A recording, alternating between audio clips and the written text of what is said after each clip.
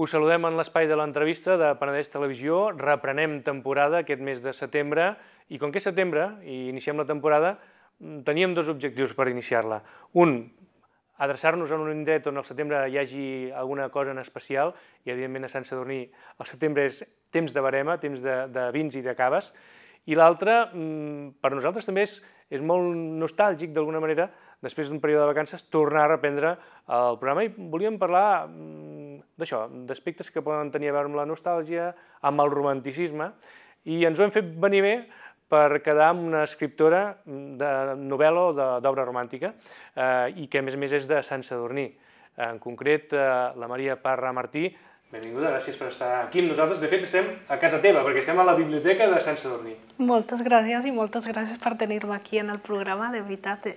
Molt contenta d'estar aquí i de tenir aquesta oportunitat de, T'he presentat Compartir. com veïna de Sant Sadurní, això sí, vius a Sant Sadurní, Ves que a Sant Sadurní, sí, sí. però, mm, diguéssim, no vas néixer a Sant Sadurní, eh? No, no vaig néixer a Sant Has fet un Sadurní. recorregut llarg per arribar aquí. Una mica de lluny, sí.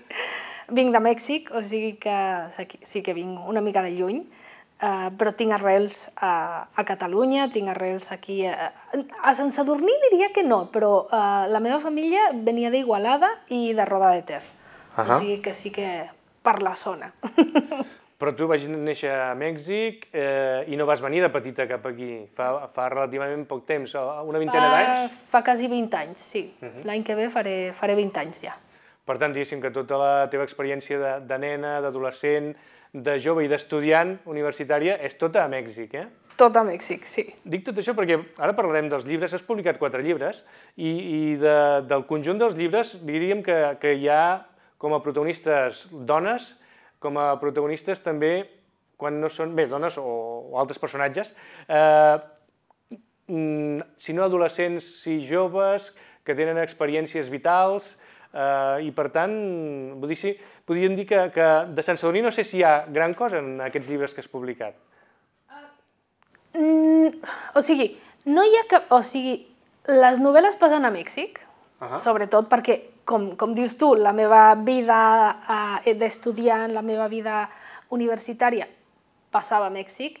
El que passa és que el llibre d'un amor blanco sí que té molta relació amb el món del vi i de la l'elaboració del vi i tot això i en bodegues, tot el meu aprenentatge de, de vins i de bodegues i tot això, Això sí que aquí. això que sí que passa aquí. El que passa és que el traslado a Mèxic, o sigui, sí, i sí que no tinc cap experiència a Mèxic en vinyedos ni, ni res d'això, en vinyes i això, però uh, sí que aquest, uh, bueno, és fantasia, o sigui que tot això, el meu aprenentatge, el trasllado a Mèxic. Que nosaltres intentem sempre, o procurem, que l'entrevistat o entrevistada, en aquest cas tu, Maria, doncs eh, ens pugui explicar alguna cosa d'actualitat més o menys recent. I l'actualitat recent és el quart llibre, no? perquè l'has publicat aquest 2024, concretament, eh, Corta-me les ales, eh, i és un llibre de, de relats, de tres relats. Tres relats, sí. I a més a més bastant diferents, eh? perquè n'hi ha algun de... em sembla de vampirs, no? Sí. Sí, ha, uh, o sigui, tots són fantasia. Hi ha un d'una nena que neix amb, amb ales eh, i, i és criticada per això. Hi ha un d'un orco que, bueno, que ha d'aprendre a acceptar la seva riquesa eh, d'alguna manera i l'abundància. I hi ha un d'un vampir, que és molt, a més a més, és un vampir transgènere. O sigui que d'actualitat és total, crec jo.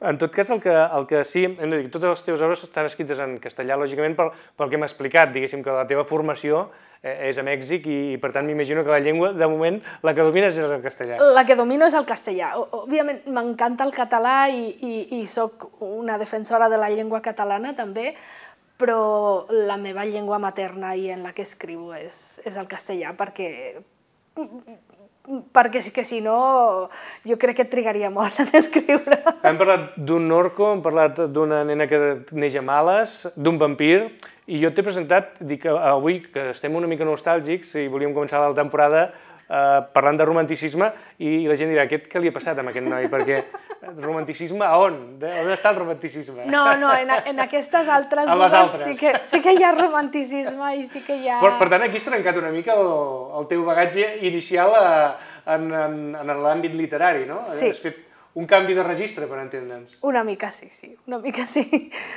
Tot i que tenen romanticisme, eh? O sigui, tenen el seu romanticisme, tots tenen una mica de romanticisme, crec jo, uh, però més aquestes dues que són novel·les romàntiques pròpiament dit, aquest, uh, aquests són fàbules, són relats, tenen, bueno, una mica de romanticisme, però no, no, no es tracta de romanticisme. Sí, clar, si parlem amb una autora que diguéssim que es nodreix inicialment i es forma en l'Amèrica Llatina, eh, fàbules i relats, podríem dir que, que si els trobem en algun lloc és allà, no? Allà, totalment, home, sí, sí. Vargas Llosa, Borges, mm -hmm. els grans. I, i eh, en tot cas, com et va sorgir doncs, aquesta idea de, de, uh, de moment deixar de banda aquest altre tipus de narrativa i entrar a aquesta matèria més, més perillosa, en algun cas? La veritat és que els relats ja els tenia escrits. Ah. O sigui, ja, ja els tenia escrits abans. De fet, aquests relats són anteriors en escritura, o sigui, que aquests dos. I els tenia i no m'acabava de decidir i al final vaig dir, mira, per què no? O sigui, aventurar-me en aquest món i, i a més amb, amb força, perquè o sigui, realment vull donar-me a conèixer. O sigui, llavors és com bueno, pues, mm, em llenço a la piscina. a veure què tal. I amb, amb, entenc jo que amb un missatge, mm, el cor també les ales té un doble sentit, un doble significat, amb un missatge justament de, adreçat a aquell que ho llegeix sobretot, eh, de que si tens alguna idea a la vida, si vols fer alguna cosa a la vida, mm, és igual, que et tallin les ales, però tu segueix volant, encara que t'hagin tallat les ales, per no? Una mica sí una, una mica va per allí. O sigui, encara que t'hagin tallat les ales, eh, tu vols volar, pues, a vegades és que has de fer-ho. O sigui, bueno, en el meu cas, no ho sé.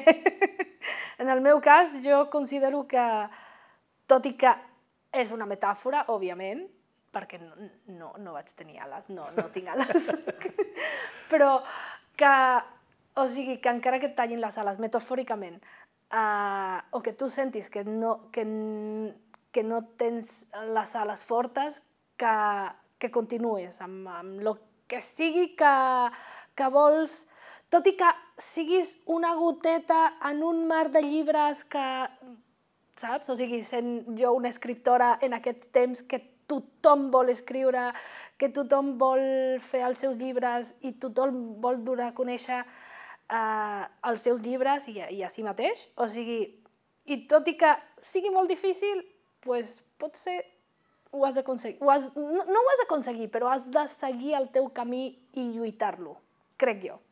Mm -hmm. Aquest és un missatge que vols Aquest llançar a través de la història. Que llançar la història Evidentment, a part sí. de, de, de fer passar una bona estona als, als lectors, no? Perquè eh, Espero que si no, sí. no hauries buscat vampirs, no? No, a veure, el del vampir és... és o sigui, el, la de l'àngel és la de talla-me, corta-me sí. les oles, i, i la del vampir és una altra història, no? És, és, és diferent, tot i que també va d'un noi que no el deixen ser i, i lluita per ser ell mateix, no? O sigui que en totes les històries són aquesta, aquesta línia de continuar el teu camí tot i que et diguin que no. I, i pel que tu ens deies, i entenc, no diríem que autobiogràfic, lògicament, però, però sí que hi ha un, un fons, hi ha un fons, com tu ens explicaves, eh, perquè clar, publicar llibres avui en dia és complicat. Molt. Si no ho fas tu mateix, si tu fas tu mateix, doncs és qüestió de diners, bàsicament, no? Però si no, adreçar-se a les editorials és complicat. És complicat. Adreçar-se a les editorials, hi ha, hi ha mètodes, hi ha gent, hi ha gurús, hi ha d'aquests que diuen sí, sí, ho pots aconseguir.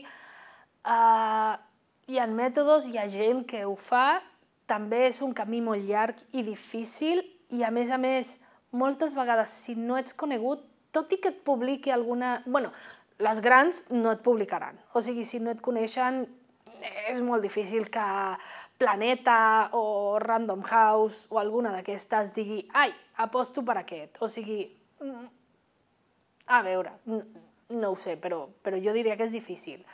Ara, si tu t'ho fas, si tu et dones a conèixer i sí que pots fer-ho... O sigui, a veure, rebobino.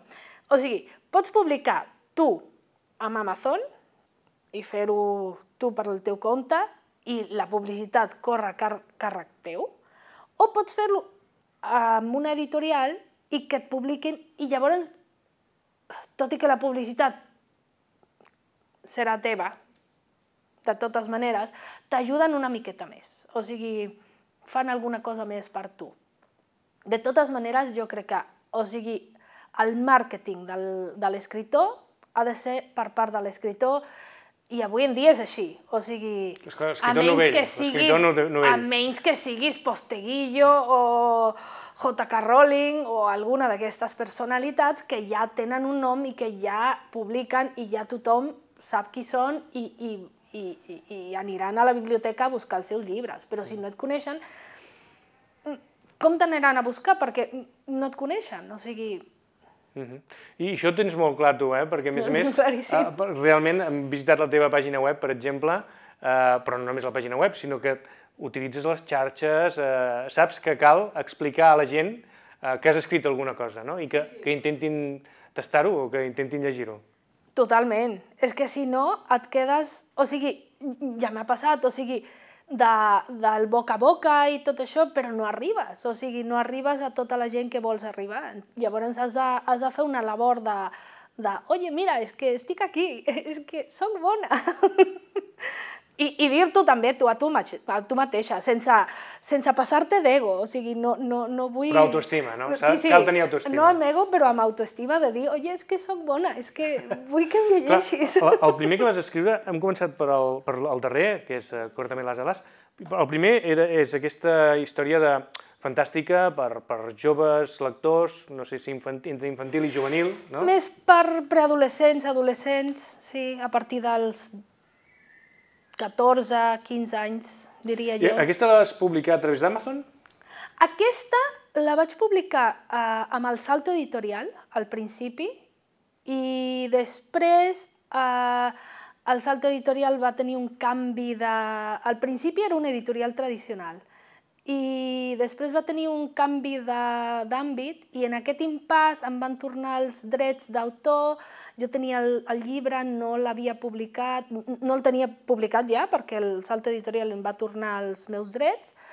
I llavors el que vaig fer és eh, tornar a fer la maqueta, tornar a fer la portada amb una, amb una artista d'aquí de Sant Sadurní que es diu Anna Arnal i ella va fer la portada i em va fer la maqueta i vaig tornar a publicar aquest llibre. Mm -hmm. I, i bueno, ara, ara, ara està publicat per Amazon, o sigui, continua publicat per Amazon, i és el meu primer, el meu primer llibre, que, que estic molt orgullosa d'ell, òbviament. Que parlem, em deies del 2014, la primera edició... No sé si és del 2014 o del 2016. 16. Diria jo del, del 2016. La primera edició i ara aquesta edició que tenim aquí és 2020. La primera edició i aquesta segona és el 2020, uh -huh. sí. I si seguim fent el repàs, eh, anem, primer va ser aquest, publicat, escrit, pel que dius, pot ser que no, no coincideixi amb el moment de publicació. Sí, eh? no.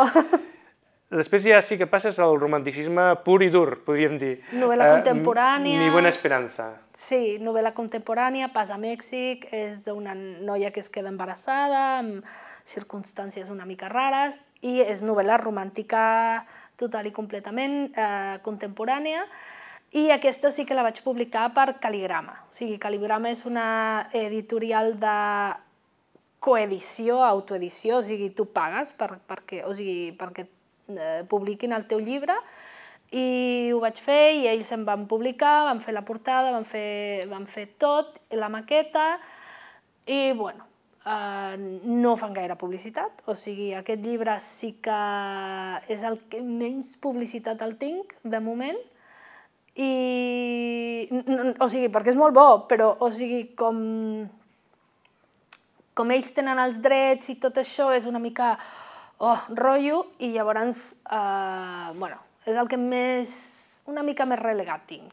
Els altres eh, sí que els, els tinc jo, i aquest el té el Salto Editorial, que amb el Salto Editorial eh, tinc una, una relació molt, molt propera perquè vam fer la, la publicació del primer llibre i llavors uh, la relació és molt propera Ja i no? ja ens coneixem i ja és com, bueno, ja, ja tenim com una manera de ser i a més a més uh, sí que em fan, uh, ell, o sigui, uh, l'editor del, del Salto Editorial, es preocupa perquè jo tingui ressenyes, que tingui tot això i, i llavors... Un feedback, és, també. És, I hi ha un feedback, més que amb, amb cal·ligrama, que amb cal·ligrama sí que no hi ha molt de feedback, no hi ha molt de, de retroalimentació perquè són molt grans. O sigui, I anem al tercer en ser publicat, ja no parlo de quan el vas escriure o quan no, en aquest cas, Un amor blanco, eh, Amor Blanco. que són tres protagonistes, tres noies protagonistes a Mèxic. Tres germanes, sí, sí. Hi hi ha la gran, no? la diguéssim gran. que és la, la, la que arrenca la història, la que ha de controlar les altres dues germanes, no? Tu, tu tens germanes? Tinc, tinc una germana, sí. Ah, pues, En tens dues o no? Perquè, clar, i ets la gran, tu? Sí, No? Perquè també... sí que és no? una mica, una mica autobiogràfic, Ah, una aquí, mica. aquí, dona la sensació que hi ha alguna cosa, un pare exigent, una estricte, una mica estricte, això també deu ser una mica autobiogràfic o no? Una mica. una mica. Una mica autobiogràfic. Sí, sí, aquest és mm, bastant autobiogràfic, el de Un amor blanco.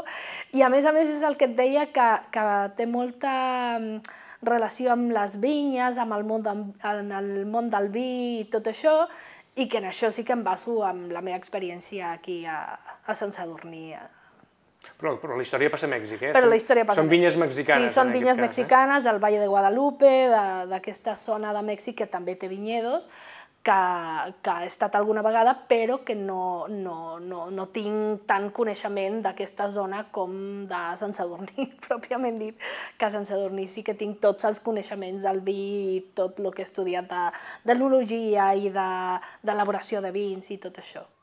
Clar, perquè ara algú que ens escolta pot pensar, home, i per què no coneix la zona de vins de Mèxic si, si és mexicana i, i ha de conèixer el seu país? Però clar, eh, això ens passa a vegades des d'aquí, que les dimensions no les, no les interpretem prou bé. Eh, un amic mexicà em deia una vegada, no, és que, és que vosaltres parleu d'aquí d'anar aquí de Barcelona a Madrid i, i us us fa llarg, diu, però esclar, penseu que Mèxic són 40 vegades la península ibèrica. 40 vegades la península ibèrica. Les distàncies són tremendes. Per tant, conèixer el país sencer deu ser molt complicat, no? És super complicat. Sí, sí, sí, no. I he estat, eh, aquesta zona de vins i tot això, el que passa és que, clar, no, no, no, no tinc tant, o sigui, no vaig estar tant de temps com per familiaritzar-me amb tota l'elaboració dels vins d'allà. O sigui, Però la història passa a Puebla, també, eh? la història passa a Que és on Puebla. vas es- estudiar on, tu, És eh? on vaig estudiar jo. Sí, sí, la història passa a Puebla i hi ha una part de la història que sí que passa al Valle de Guadalupe, Ensenada i tota aquesta zona que, que hi ha vinyedos que, que la mencionen en la història, però que no... La història passa a Puebla, sí, sí, que és on jo vaig I estudiar... Puebla sí que coneixes bé, eh? Sí, sí, aquesta zona la conec perfectament. El que la desconeixem segurament molts de nosaltres, que no hem estat mai a Mèxic, i potser desconeixem, sentim a parlar de, de Mèxic, eh, És districte preciosa. federal, no? la capital, però la resta del país potser no, no coneixem. I, I Puebla té coses molt espectaculars, no? Puebla és Té increïble. piràmides. Sí, sí, sí, té, té una piràmide, que és la piràmide aquesta de, de Cholula, que és on passa gran part de la història, i aquesta piràmide, eh, quan van arribar els espanyols, van posar l'església a la part de dalt de la piràmide, no? Però perquè feien, feien esglésies a tot arreu, Perquè no? A feien l'arribada. esglésies a tot arreu, saps? Per Havien de cristian- convertir els indígenes. Havia que cristianitzar tothom.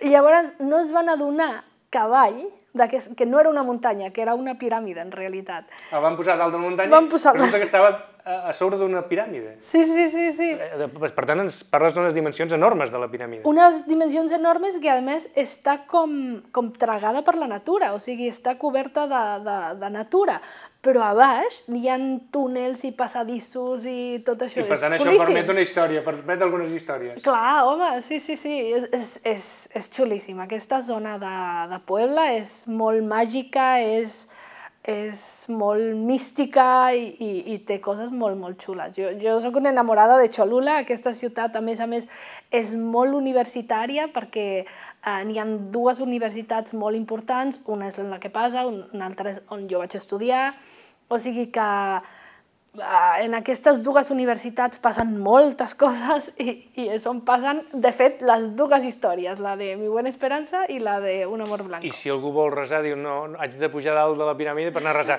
Que no es preocupi, perquè em sembla que a cada cantonada hi ha, hi ha una ermita o una església, una església no? N'hi ha 365 capilles, capelles, o sigui... 365. Sí, sí, sí, sí, una per cada dia de l'any, em sembla que sí, és una, és una bogeria, però tu vas i veus una, una vista panoràmica i cada dues manzanes hi ha una església. Que tu, tu vas eh, viure fins als 20 llargs, no?, a Mèxic? Sí, fins als 25 a Mèxic, 25. sí. I després, de cop i volta, també ens, ja directament aquí a, a Catalunya o, o vas voltar món?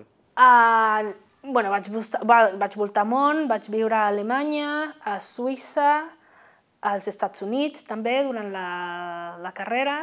Vaig voltar molt de món. I després ja vaig venir aquí perquè aquí vivia la meva germana i, i, i som molt unides. I, I res, vaig venir aquí i, i vaig conèixer el meu exmarit i, i per això em vaig quedar I aquí. és- aquí et vas quedar. I aquí em vaig quedar, sí, sí. Però, però sense dormir no, eh, inicialment, perquè... No, inicialment vivia a Barcelona, al barri de Sant Andreu, uh vivia a Barcelona. I que ets aquí al Penedès, quant temps fa que vius al Penedès? Al Penedès fa uh, 8 anys, sí, anys. 8 anys, més o menys, des del 2016, uh, 16-17, més o menys, entre el 16 i el 17, sí. I, eh, clar, tu, tu pots parlar de, de raïm, de vins, eh, perquè vius a Sant Sadurní, però clar, dius, no, tothom que viu a Sant Sadurní no pot escriure coses sobre vins.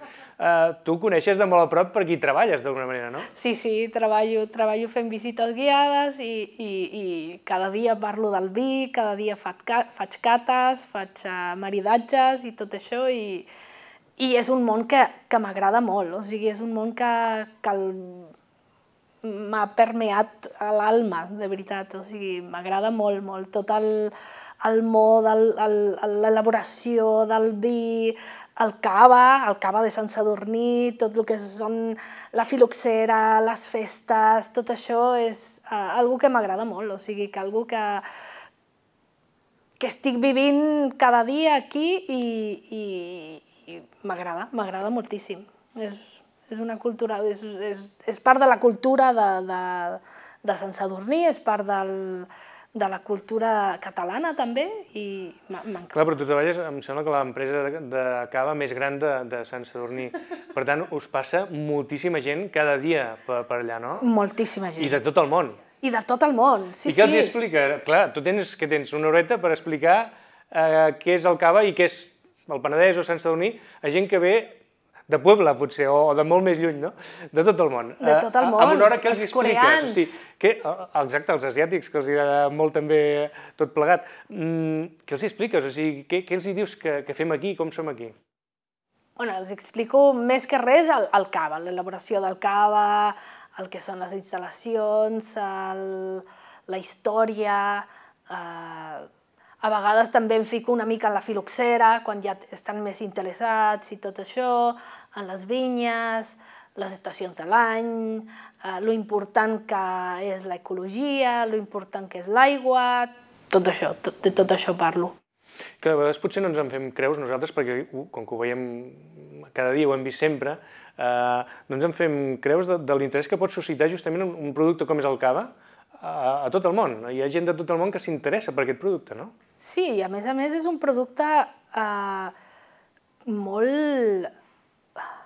que té molta elaboració, moltíssima elaboració, molt del que molta gent es pensa, molta gent ve i diu ui, eh, això eh, me'l bec i cada divendres bec cava, però no, no se n'adonen de tota l'elaboració que porta i és, és algo que, bueno, que, que la gent ve a aprendre aquí i que s'emporten una bona...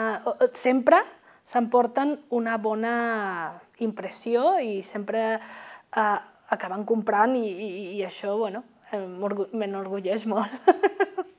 I clar, quan tu de tant en tant vas a Mèxic, tornes a Mèxic o no? Sí, sí, sí, sí. Alguna ampolleta deu anar a parar cap allà. Totalment, totalment. Totalment. A més a més, eh, per la gent que pensa que exploten a l'avió, no exploten a l'avió. Eh, Es poden dur l'avió. es poden endur, sí. El problema serà eh, empacar-les bé perquè si la gent, la, o sigui, si a Clar, l'aeroport... perquè a dalt no les pots pujar, les A dalt no les l'has pots posar. d'empaquetar A amb, que les amb la maleta al, de viatge. al duty free, però si no, no les pots. I si tens un vol de transferència, normalment has de, has de portar-les a l'equipatge de mà. Maria, el, el Cortame les ales és de la, hem dit de l'abril d'aquest any. Sí. Uh, I a més a més, tret de calaixos que tenies tu guardats, uh, no sé si aquests calaixos tenen més, més material i, i aviat tornarem a veure alguna publicació. Tens alguna publicació entre mans? Sí, uh, tinc, uh, tinc acabada el, la continuació del Planeta de les Brujes, o sigui, uh, aquesta la continuació ja la tinc i estic escrivint la tercera part, que serà una trilogia. Uh, aquesta ja la tinc acabada i la tercera part encara no. I a més a més tinc altres relats que també voldria fer un altre compendi de, de relats. Però sí, material tinc molt. O sigui... I ganes de Després- publicar-lo I també. ganes de publicar també. El que em falta a vegades és, és una mica de diners per, per fer-ho, però, però les ganes les tinc de, de publicar i de, i, i, i de seguir escrivint, clar. I temps te'n falta també o no? Perquè, clar, um, ja hem dit, tu tens una feina i, i uh, escriure també porta i comporta molta feina, no? Home, sí, escriure comporta molta feina. Uh, uh, trec el temps d'on puc. Però sí, sí, eh, a vegades és com, bueno, quan arribo a casa em poso a escriure i, i els meus amics, però no sortiràs avui, però, oye, però eh, per què no? No, és que l'escriure també és que és la meva passió, és la meva manera de, de també de- d'exorcitzar tots els dimonis, saps? I, i llavors, bueno, pues sí, uh, la meva vida social ho pateix a vegades. Maria, encantats de poder parlar amb tu aquí a Encantada casa igual. teva, a Sant Sadurní, eh? On te tenen per cert els teus llibres, aquí a la biblioteca no falten els teus llibres, eh? No, no, no, tots estan aquí a la biblioteca, tots. Gràcies per acompanyar-nos. Moltes gràcies Que a tu. bé. I nosaltres que ho deixem aquí. Tornem la propera setmana amb un altre convidat o convidada. Que passeu molt bon dia. Adéu-siau.